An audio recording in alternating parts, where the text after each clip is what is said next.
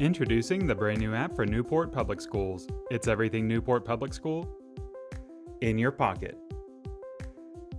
This is the home screen. Tap the schools icon in the bottom right to select a specific school.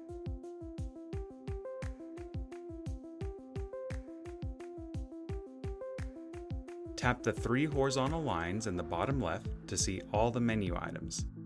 To turn on push notifications, tap Settings and select Push Notifications. The Events section shows a list of events throughout the school. You can use this button to add an event to your calendar, or tap here to share the event with friends and family.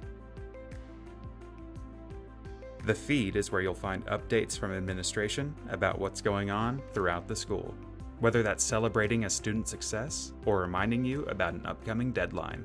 Search Newport Public Schools Rhode Island in the App Store or Play Store to explore the app for yourself. It's everything Newport Public School in your pocket.